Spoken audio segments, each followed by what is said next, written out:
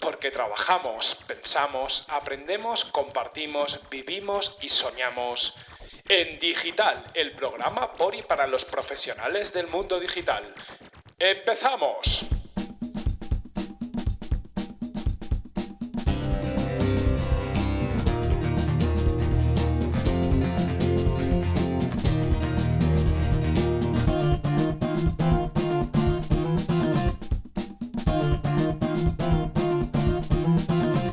Hola a todos, bienvenidos una semana más a En Digital, el podcast por y para los profesionales del mundo digital.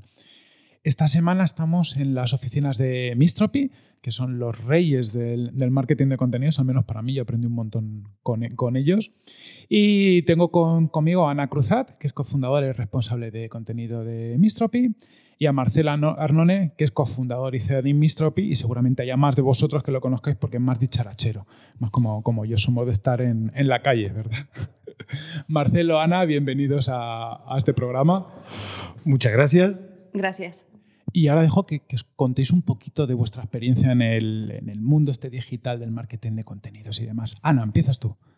Bueno, pues nuestra experiencia en Mixtropy eh, se remonta ya hace cuatro años, cuando una periodista y un experto en marketing y en algunas otras cosas eh, decidieron montar una agencia de marketing de contenido. Porque empezamos a, detectar que, bueno, que había una gran necesidad en las empresas, necesitaban mucho contenido digital para, para mostrarse y para hablar de, de, sí mismos y realmente pues detectamos que no sabían cómo hacerlo, no tenían, no tenían equipos expertos ni tenían periodistas que pudieran indicarles, se habían lanzado a las redes sociales y bueno, realmente hablaban mucho de sí mismos y poco de lo que les interesaba a sus audiencias. Y comenzamos a trabajar con algunas empresas, con, con Aramón, las estaciones de esquí del Pirineo, después con alguna otra empresa como Worten y y con, y con Vodafone, por ejemplo. Y bueno, pues eh, hemos hecho contenidos de todo tipo para ellos. Eh, hay gente a la que le hacemos contenidos para el blog, a, otras empresas les hemos hecho contenidos descargables, hacemos infografías, hacemos newsletters. Eh, bueno, al final todo el contenido digital que una empresa puede necesitar. Pues eh, la verdad que yo creo que Ana lo, ha resumido muy bien. Hace poco me preguntaban algo parecido y yo creo que nosotros empezamos a, meternos en esto y quizás a acompañar a algunas empresas a, a, encontrar el lugar del contenido. ¿Sabes qué? Nos parece tan habitual la palabra, tan, tan usada ahora. Sin embargo, el contenido es nuevo en la empresa. O sea, el contenido es un clásico en el mundo de la universidad eh, es un clásico en el mundo del entretenimiento. Sin embargo, la empresa, el contenido, las empresas hacían publicidad, no hacían contenido. Entonces, bueno, eh, con esta explosión de las redes sociales, con la explosión de la comunicación, oye, había un lugar ahí que nos parecía interesante, que, interesante aprovechar, ¿no? Encontrábamos algunos amigos primero y empresas después, nos decían, oye, échanos una mano, sabéis de contenido, sabéis de marketing, creo que nos podéis ayudar a, a, a esto, a, a, utilizar ese contenido para relacionarnos mejor con nuestra audiencia, porque oye, estamos viendo que, yo qué sé, que los banners ya no se pinchan no sé con cuántos millones de adblockers vamos ya, ¿no? Eh, de, de, cantidad de usuarios en España y en el mundo. O sea que había un lugar ahí que, que en el que nos sentíamos muy cómodos y, y, así empezó, así empezó. O sea, sin, sin muchas más eh, expectativas que veamos qué tal nos va y bueno, ya llevamos cuatro años. Parece poco, ¿no? Pero sí, sí, sí, sí. seguro. Parece poco, parece poco, pero bueno, ya, ya al final, como decía Ana, también hemos hecho de todo. De hecho, al principio al, al, principio empezamos, quizás por, bueno, por, por, por, contar alguna, alguna cosa, empezamos siendo muy productores. ¿sí? Éramos redactores, diseñadores, éramos ese equipo, esa especie de equipo de redacción externa que una empresa, una, cuando digo una empresa, digo una marca o una, una, startup, ¿no? Que le gustaría tener para pedirle, hazme una infografía, maquétame un correo electrónico, ayúdame con las newsletters o escríbeme los artículos para el blog, ¿no? O sea que siento que empezamos siendo quizás muy productores y creo que al poco tiempo una, una de las cosas que, que entendíamos que nos podía ayudar a diferenciarnos era darlos, darlo, darle una vuelta a cómo había que montar una estrategia. ¿Sí? Al final eh, está bien esto, que acompañamos a las empresas en encontrar ese lugar, pero el secreto de, del marketing de contenido justamente es no enfocarse en el contenido. No enfocarse en el contenido. Enfócate en tu cliente, enfócate en tu audiencia. ¿no? Creo que era uno de los pecados que se cometían al principio y se siguen cometiendo. Así que dimos ahí un, un pequeño giro, por decirlo de alguna manera, hace año y pico, Y, hoy por hoy no somos solo productores, es una de nuestras principales actividades, pero hoy por hoy nos sentamos con la compañía a ayudarles a decidir cuál debería ser su estrategia y qué hay que considerar antes de decidir una estrategia para ponerla en marcha. habéis hablado del paso de la producción a la estrategia y yo creo que es un, elemento muy importante porque cuando hablamos de marketing de contenido, casi todo el mundo piensa en como en tácticas muy concretitas. Eh, lo hablábamos antes entre bastidores, ¿no? Hablamos de, joder, el marketing de contenido no solo tener un blog y escribir articulitos, son, son muchas más cosas. Entonces, ¿cómo se desarrolla o, qué piezas clave debe tener una estrategia y cómo la debes planear para que tenga una estrategia de marketing de contenidos efectiva. ¿no? Porque yo creo que es el mayor problema de la mayoría de las empresas que hacen marketing de contenido. Nos ponemos aquí a hacer contenido a cholón. Aparte tú lo decías justo antes, no, el, problema de marketing de contenido no es el contenido, sino pensar en el usuario. ¿Cómo hacemos una estrategia en la que pensemos en el usuario? es un buen punto. De hecho, nosotros lo, hemos escrito ya algunas veces y hace algunos años ya, de que hacer contenido no significa hacer marketing de contenido. ¿no? Al final, el contenido tiene que tener un propósito.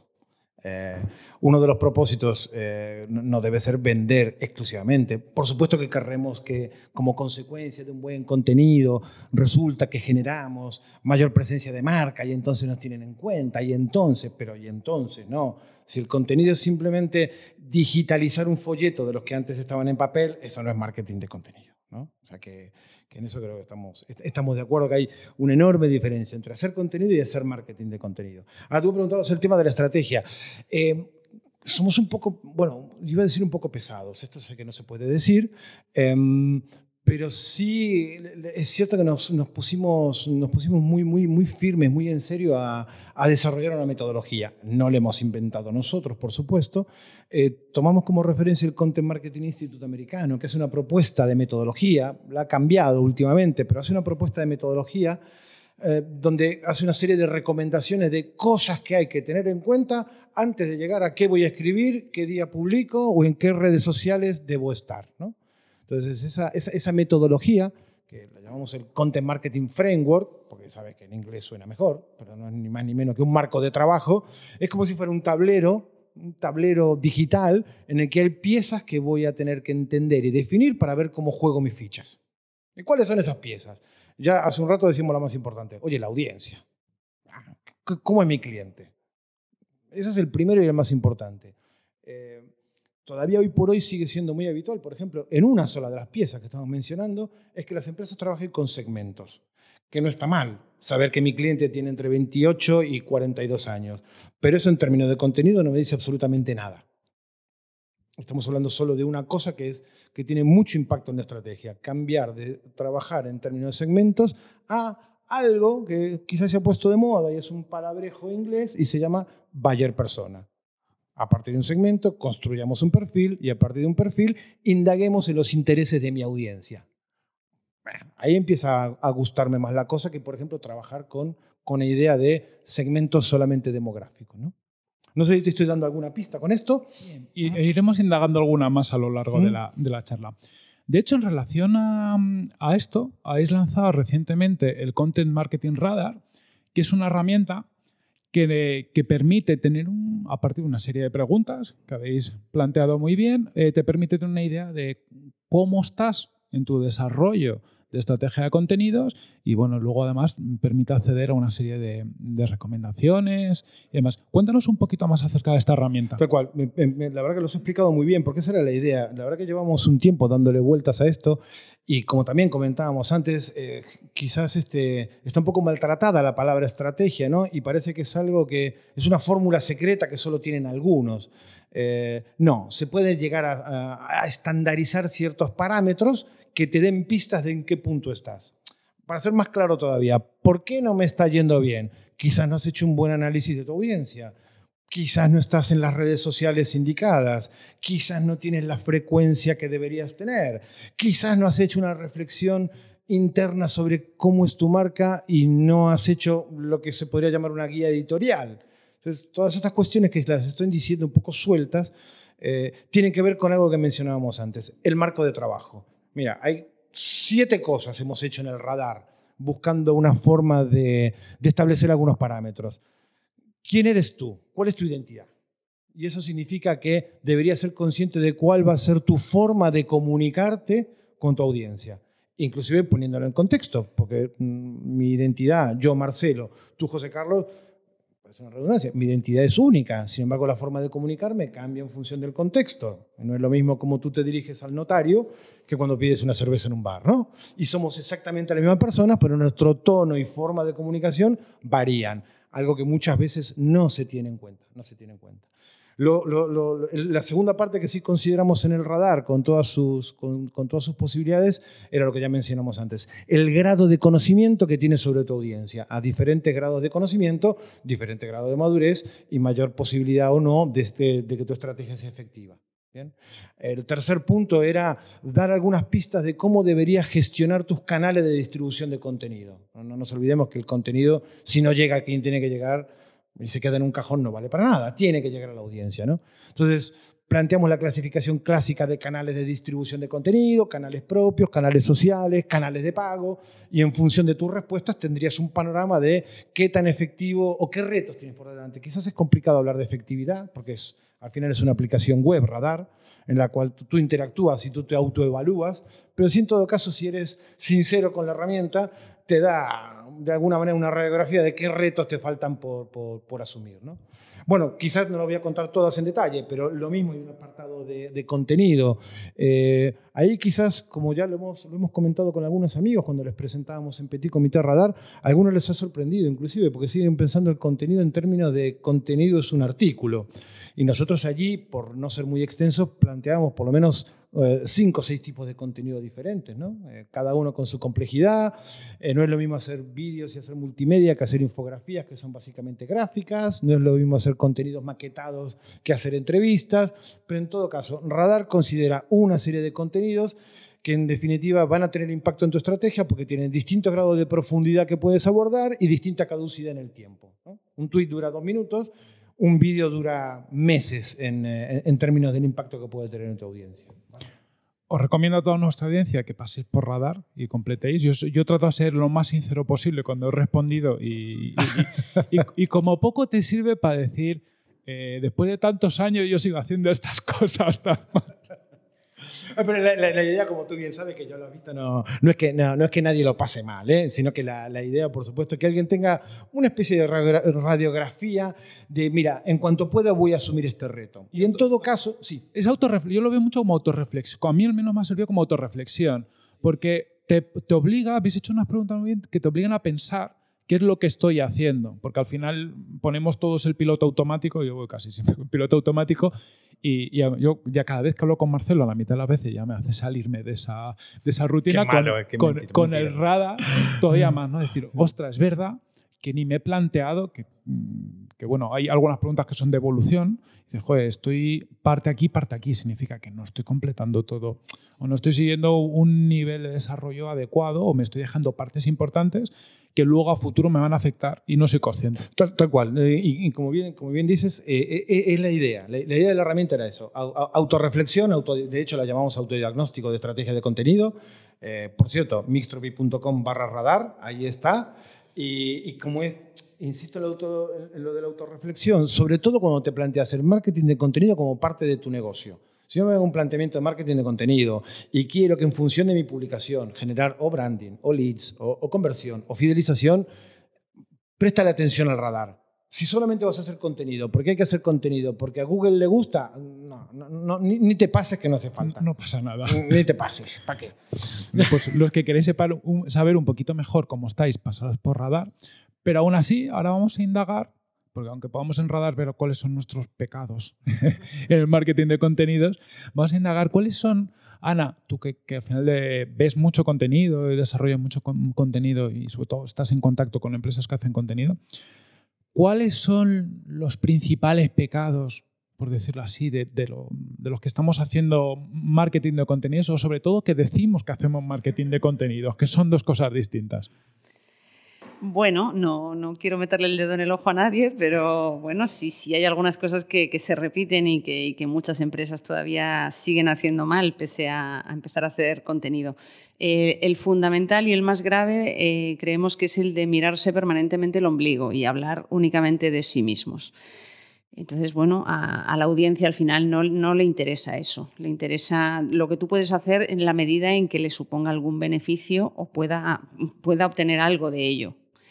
Si está buscando un producto tuyo, le interesa saber qué le ofreces, por qué es más barato, por qué le conviene comprar el tuyo y qué, qué, le va a aportar a él. No le interesa que tú acabes de firmar una alianza estratégica con una multinacional. Eso, si no le reporta ningún beneficio, no le interesa. Entonces, bueno, eso, eso hay que controlarlo. Hay que controlarlo y hay que tratar de, de, vamos, erradicar, mirarse el ombligo y hablar de sí mismo. Hay que hablar de lo que a la audiencia le interesa.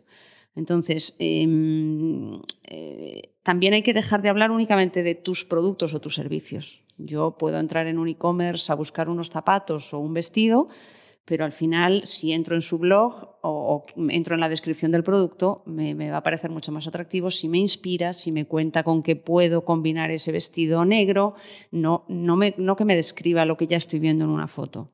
Eso ya lo estoy viendo. Cuéntame algo nuevo, inspírame, mándame un blog, eh, cuéntame algo atractivo, algo que pueda hacer con ese vestido o lo mismo en un, blog de viajes. ¿no? Si yo estoy vendiendo hoteles, no voy a hablar únicamente de mi hotel y de lo que ofrezco. Puedo hablar de todo lo que se puede ver en los alrededores, qué excursiones puedo hacer, cómo puedo llegar, qué otras opciones de ocio tengo. En fin, el mundo es, es mucho más amplio y hay que dar, digamos, siempre un paso hacia atrás para mm, tratar de abarcar mucho más campo y en todas las cosas en las que evidentemente mi audiencia va a estar interesada. Mm, otro error grande y grave es el de pensar que como todo el mundo quiere estar muy arriba en los resultados de Google, pues al final hacer contenido para Google. Y claro, mm, el marketing de contenido no, no se trata de hacer contenido para Google, sino de hacer contenido para la audiencia, contenido para las personas. Contenido que resulte interesante y contenido que resulte atractivo.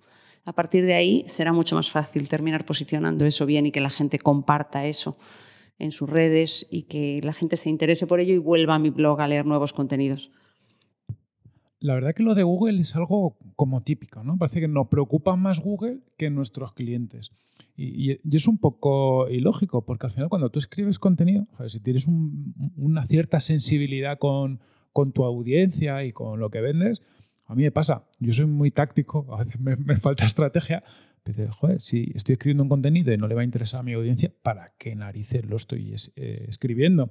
Y a mí me pasa otra cosa, que no sé si os pasa cuando planteáis contenidos, es si estás escribiendo un contenido para un target que puede ser similar al tuyo, dices, si a mí este contenido no me va a interesar, por mucho que le guste a Google, ¿por qué narices lo estoy, lo estoy escribiendo? Pero nos pasa con muchas cosas. Siempre pensamos más en el, en, casi en el medio, en Google, que en el fin, que tú quieres a Google para que te traiga un, cliente. Parecemos un poco tontunos ¿no? a veces con, con estas cosas. A ver, 100% de acuerdo. Yo creo que sigue estando. A ver, eh, creo que también hay que ser cuidadoso con esto. Por supuesto que es muy valioso el posicionamiento en Google. Lo que no podemos es restarle valor al post-click.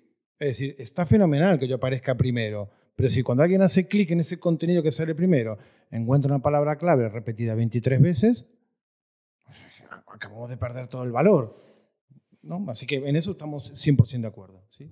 Eh, quizás inclusive yo agregaría, ya, que, estamos hablando mal de la gente, aprovechemos, eh, un pecado más, bueno, no sé si es pecado, ¿no? Primero habría que solucionar algunos pecados previos para, para conseguir algunas virtudes. Una virtud que, nos gustaría mucho que, se practique es la de ampliar formatos. ¿sí? Eh, hoy por hoy, algunas compañías por presupuesto, otras por quizás por, por, por, por falta de capacidad todavía de ampliar miras, estamos muy, muy concentrados. Todo el mundo del contenido es blogging, blogging y blogging, cuando hay muchísimas más alternativas para hacer y para distribuir contenido. Hay muchísimos formatos tanto en multimedia como en gráfico, como, en descargable, bueno, como en interactivo.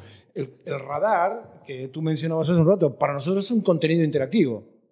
Pero si eso es una cosa que... Eso es un contenido interactivo. Y de mucho valor, además. Es un contenido que al final lo que te propone es una interacción con el usuario. Eso es un contenido. Claro que es más complejo porque requiere redacción, diseño, maquetación y programación. Claro que es más complicado que hacer un artículo, pero no por eso nos vamos a cerrar las miras. Y volvemos a la de siempre, ¿no? Un artículo en un blog dentro de tres semanas ha caducado y está bien, que tiene que tener una frecuencia y una recurrencia interesante, mientras que un desarrollo web no vamos a hacer uno todos los días. tendrá más, mm, estará más, más permanente en el tiempo y haremos desarrollos cada seis meses. Pero creo que falta ese mix de, de, de, contenidos. Hay mucho, mucho contenido de texto y quizás hay que sacarle más partido al vídeo, por ejemplo, del que se habla tanto y se hace tan poco. Sí, de hecho, sobre distintos tipos de contenidos, ya hace tiempo veía un, un, contenido, además que publicasteis vosotros, que es una matriz de contenido, donde al final identificáis distintas etapas del, del Bayer Journey y distintos tipos de contenidos. Y a mí me sorprendió cuando lo vi, porque bueno, conocía muchos de ellos, pero algunos no, pero al final te das cuenta que, que no es que tengas 5, 6, 10 tipos de contenido, estamos hablando de decenas de tipos de contenidos distintos que además se alinean muy bien por, con distintas etapas. Es decir, al final un artículo pues, puede estar muy bien, pero en una fase muy inicial, pero, pero una toma de decisión, un artículo no te aportaba. Necesitas una comparativa probablemente o necesitarías un contenido interactivo que sea un calculador en tiempo real de cuánto me va a costar esta contratación. al final el secreto del contenido eh, o del marketing de contenido, perdón, tiene que ver con cómo lo voy a alinear con ese proceso de toma de decisión de mi audiencia. Yo no necesito lo mismo el primer día que conocí a, a BrainSense que el día que decido su contratación. Mi necesidad y mi exigencia en términos de contenido es totalmente diferente. Entonces, y claro, entonces se me ocurren más pecados, porque se hace mucho contenido para la primera etapa, para conóceme, conóceme, conóceme, y, o, se hace mucho contenido muy prensa, ¿no? Muy de, ah, porque nuestros clientes, en nuestros casos de éxito, que digo, está bien, está, no, no digo que estén mal, ¿eh? ¿eh? bendito contenido. Quizás lo que falta es adecuarlo un poco más a, a ese Customer Journey. Pues vamos a ver, para, para darle pistas a nuestra audiencia, y es generalizar y es complicado, pero para cada una de estas etapas de la toma de decisión, ¿cuáles serían los tres contenidos estrella? Generalizando, que ya sabemos que luego en cada situación vamos a variar. Eh, ¿Puedo usar un ejemplo de los que uso siempre? Sí. Es que es... ¿eh? ¿eh? Es que es muy bueno, pero eh, eh, y justamente con esto tiene que ver radar, con esto tiene que ver nuestro, nuestra vocación más estratégica, muy alineado a algunas de las cosas que dijimos de la audiencia. Es fundamental esto que algunos llaman Customer Journey, otros llaman Buyer Journey, otros llaman lo que sea, pero en definitiva, ese proceso de toma de decisión que va pasando por etapas distintas, es tan importante como conocer a la audiencia. ¿Por qué cuento este rollo? Para situar a la gente. Una de las industrias que mejor tiene estudiado esto, cuando digo estudiado, digo en términos conceptuales primero, ya después nos meteremos con Google Analytics, pero en términos conceptuales, la industria del viaje sabe que nosotros cuando viajamos pasamos por cinco etapas. El primero se llama dreaming. Lo digo en perfecto inglés, como se nota, ¿no?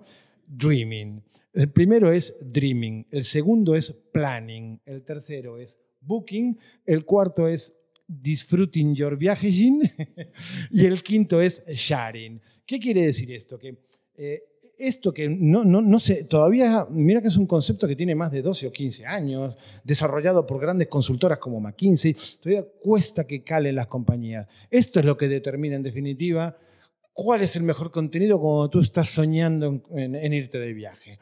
Por supuesto que es inspiración pura. Muéstrame playas bonitas, montañas y paisajes, ciudades que no conozco, culturas, con lo cual hay contenido muy, muy, muy, muy inspiracional. Ahora, una vez que yo tengo decidido que me voy a ir a conocer un país lejano y entro en la segunda fase, que es el de planning, ya estoy inspirado, ya estoy lo suficientemente inspirado. El contenido tiene que ayudarme a tomar la decisión de cuándo es la mejor época. Ya empieza a ser menos inspiracional y un poquito más racional. ya no se trata de que me cuentes las playas kilométricas de, de Singapur. No, cuéntame otra cosa. Y si estamos en la tercera fase, que es el de booking, es que el contenido es mucho más racional todavía. Cuéntame por qué, dime qué precios hay, qué temporada es más barata o qué lugares son mejores para pasármelo bien. La verdad que sí, ahí, y aparte se explota poco. Yo voy a poner un, ejemplo, no sé si conocéis. Yo compro todos estos cacharritos con los que grabo la radio y demás en Zoma, que es una, una tienda, creo que es eh, alemana, y, mm, tienen contenidos que a mí me parecen muy chulos porque son contenidos distintos, pero a mí me parecen súper alineados con, con, la decisión de compra. Por ejemplo, esta es la categoría de grabadoras. Cuando yo pasé por la fase de tengo que elegir una grabadora para el podcast, y en esa categoría tienes un contenido que es una guía de compra, que parece una estupidez, que al final suena hasta un contenido comercial, pero mm, a mí, por ejemplo, me resulta muy útil porque al final te decía, oye, ¿cuál es tu necesidad? Aquí tenemos grabadoras y lo que quieres es grabar con tu batería y tu grupo en el estudio. Ostras, pues yo no necesito eso. Eh, grabadoras que te sirvan para podcast, grabadoras que te sirven para hacer un podcast y además para no sé qué. Y al final, lo que te, es, un contenido cojonudo porque ayuda al usuario, pero evidentemente dentro de cada una decisión pues te recomendaban las, las que ellos querían vender. Al final, pues te acabas comprando una grabadora de 150 euros en lugar de una de 90 porque tú has visto ese contenido, te han ido guiando, te ha servido mucho, pero encima, joder, con todo lo que me has ayudado, yo me creo que esta que tú me recomiendas es, es la adecuada. Yo creo que nos falta ese tipo de contenido que esté totalmente alineado con, con tu momento de compra. Efectivamente, es que en ese momento el ejemplo que tú ponías realmente está alineado con tu decisión, está llegándote en el momento en que tú lo necesitas, te está aportando información que tú no conocías, te está haciendo una comparativa con distintas opciones y al final probablemente están consiguiendo, como dices, que, que tú te inclines por, una, por gastarte más dinero del que tenías previsto, pero porque te han convencido, porque te han, te han aportado cosas que no conocías y que te parece que son mejores para ti. Con lo cual es un contenido perfectamente alineado. Eh, a, muchos, evidentemente, claro, claro que les falta eso. Y si tú en el momento en que estás buscando, estás a punto ya de comprar y, necesitas comparar entre distintas opciones, lo que te encuentras es ese contenido inspiracional al que se refería Marcelo, en ese momento no te va a servir de nada y te vas a ir a otro sitio. Y no nos olvidemos que, que en el contenido digital estamos a golpe de clic de irnos de una página y nos vamos enseguida a otra en el momento en que lo que tenemos no se alinea con lo que nosotros estamos buscando. Por eso es tan importante. Hay, otra cosa que, que, habéis dicho que a mí, encima, con, eh, lo habéis dicho al principio y luego se alinea mucho con los pecados que, que, habéis, que habéis, comentado, que es un poco la, la, publicidad frente al marketing de contenidos, ¿no? Porque al final lo, la mayoría de los pecados que habéis hablado es tratar el contenido como un canal publicitario más, ¿no? De, qué guay somos, aquí les damos servicio a fulanita, menganito, somos la releche pero, pero, pero eso es la publicidad de toda la vida, es, es exponernos y, oye, si me quieres creer, me crees, si no, no, pero aquí estoy yo. Es usar altavoces digitales para el mensaje de siempre. ¿Cómo, ¿Cómo podemos conseguir, porque lo hemos visto como pecado, pero cómo podemos influir dentro de las empresas o el responsable de contenidos? Porque yo llevo una cosa que esto se liga a veces con, lo ligo otra vez con, pues con la transformación digital que están sufriendo las empresas, ¿no? Que no viene a ser más que, que, claro, puedes tener ser responsable de contenidos en una empresa, puedes tener claro que no tienes que hacer esto, pero ¿cómo le convences a tu director general de que, de que no tienes que hacer estos comunicados tan casposos que se llevan haciendo 30 años? ¿no? Yo, yo creo que eso es uno de los retos. ¿Cómo, ¿Cómo veis vosotros que se puede afrontar uno a eso? Es, complicado al final, bueno, mmm, pero en, primer lugar lo que tendrían que, que, tratar de definir bien es su identidad verbal, cosa que muy pocas empresas hacen.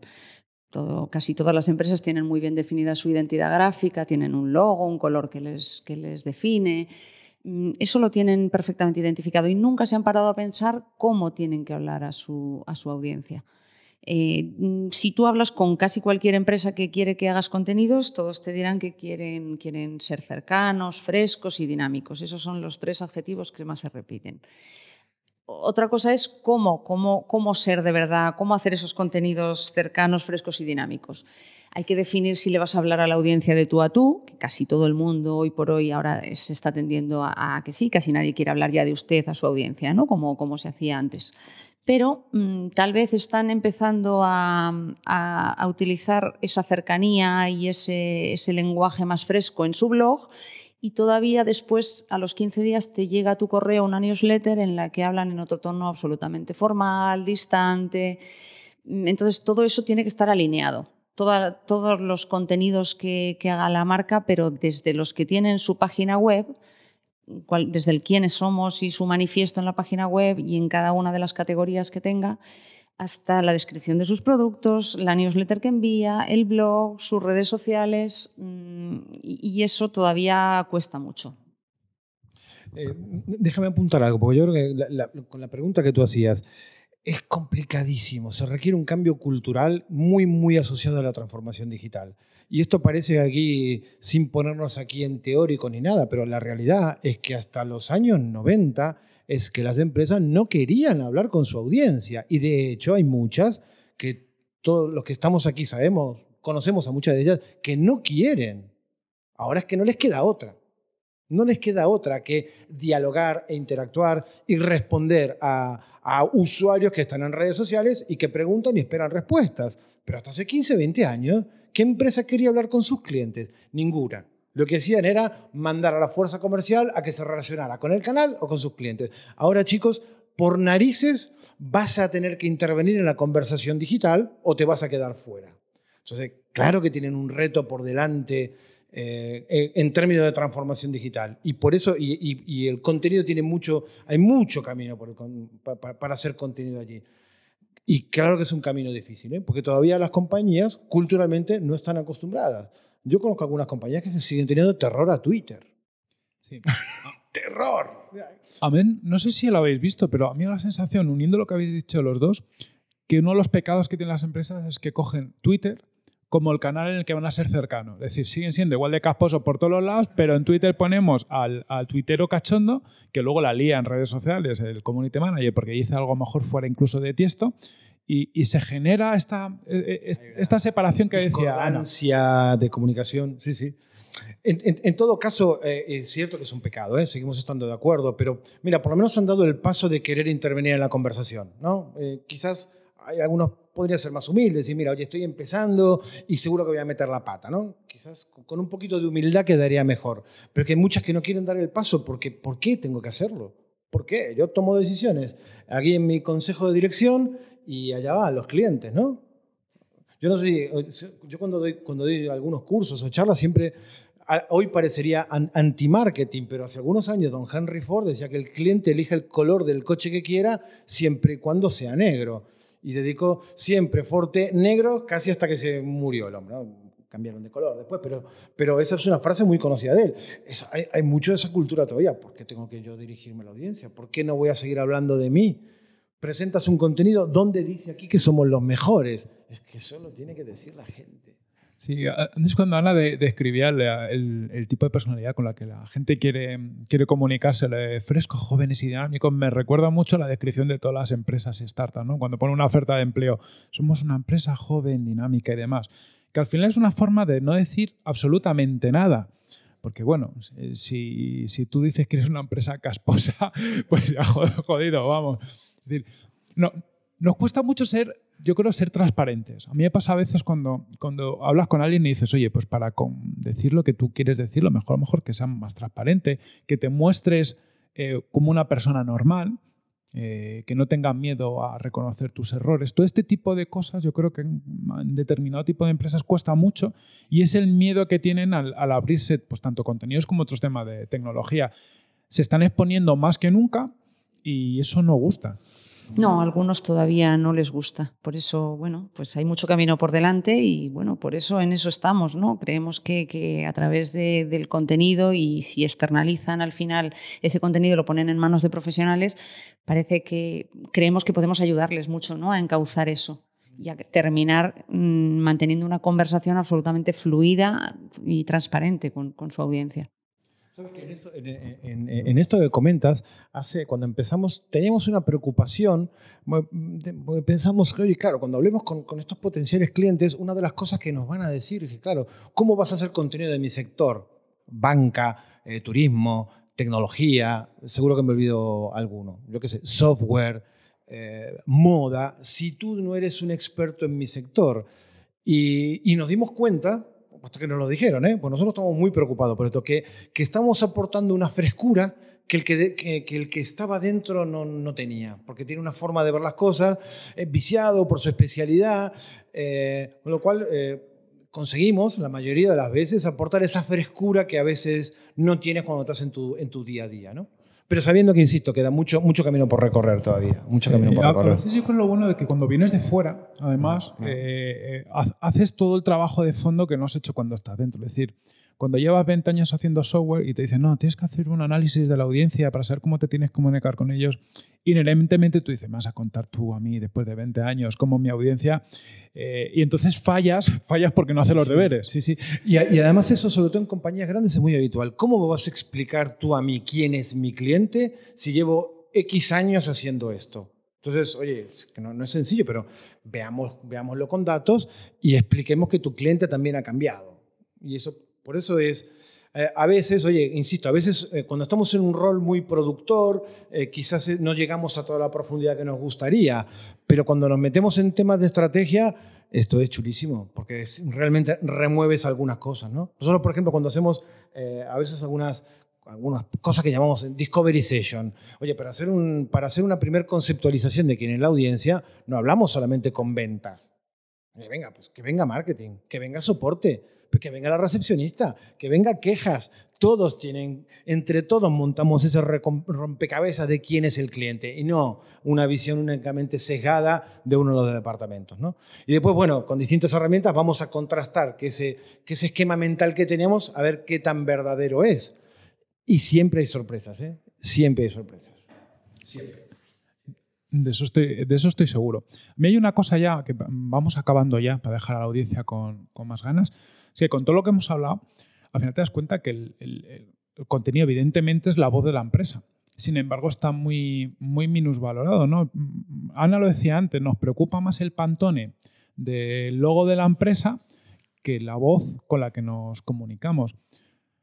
Yo a mí me gustaría que a la audiencia le quedara muy claro, a ver cómo, cómo les convences tú, de que el marketing de contenidos ya es, pero sobre todo cada vez va a seguir siendo más, la voz por la que su audiencia va a percibir. Y cuando hablamos ya de contenidos tipo vídeo, tipo, tipo podcast o de otros tipos, ya son los otros sentidos con los que nos percibe, porque al final los vídeos va a ser la forma en la que entremos por los ojos a, a la gente. ¿Cómo podemos convencer, y volviendo a esa pregunta de la transformación digital, al CEO o alguien de una empresa pues, que tiene unos ciertos años, de que tiene que, meterse en el marketing de contenidos de esta forma para poder conectar con su audiencia, para que su audiencia le escuche, para que su, audiencia le vea, pero de una forma afectiva. Bien, a, ver, como, siempre, todo esto es un reto. Quizás, yo sé que a muchos no les gusta hablar de, los ad blockers, pero en eso nosotros reconocemos que nos ha venido muy bien. Porque todo esto que estamos hablando, hasta hace pocos años eran bonitas palabras, no, en, España el 30% de la población internauta eh, tiene instalado ad blockers en sus navegadores y eso significa directa y claramente no me molestes si no tienes algo interesante para contarme. Entonces, creo que más allá de, algunos conceptos, esto es un dato muy, muy, muy significativo para tener en cuenta. O sea, en, el mundo creo que vamos ya, bueno, no sé por cuántos millones vamos. En Europa más o menos estamos en unos 90 millones en total de usuarios de AdBlocker. Personas que algunos como nosotros y otros no, pero personas que como nosotros dicen no me molestes, no me interrumpas, ¿no? Y con datos demostrables. Entonces eso es un, primer alerta. Si este alerta está entendido de que nuestro comportamiento digital, nuestra madurez, nuestra inteligencia como usuarios y compradores nos da más poder, si eso se entiende, el camino se allana hoy por hoy hay que reconocer que nosotros en nuestro rol de compradores o de consumidores nunca hemos tenido ni tanto poder ni tanta información como tenemos ahora. Nunca, nunca, nunca. podemos cambiar de marca en un clic. Si es un SEO lo entiende, que lo entienden porque ven cómo han bajado la efectividad de su publicidad tradicional y ven cómo ha bajado su publicidad digital también, eh, es más fácil empezar a abordar estos temas. Es bastante más fácil pues ya sabéis, a día de hoy, si todavía no creéis en el marketing de contenidos, estáis jodidos. Y, eso lo digo yo, no lo dice ella, la gente de Mistropi. Aprender este, de estos consejos que, que, nos han dado Ana y Marcelo, yo creo que, bueno, para, los que estáis metidos en ellos, os estáis metiendo en el marketing de contenidos, me han dicho unas cuantas cosas a, seguir. Sobre todo para, para no cagarla, porque a mí me ha pasado muchas veces de hacer las cosas sin pies ni cabeza y te das cuenta que has perdido mucho tiempo. Y sobre todo que ya se empezado a generar una sensación que a lo mejor no es la que quieres generar. Me enrollo para variar. Ana, Marcelo, muchísimas gracias por estar aquí hoy con nosotros. Muchas gracias a ti. Muchas gracias, José Carlos. Y a toda nuestra audiencia, como siempre, la próxima semana más y mejor. Un abrazo.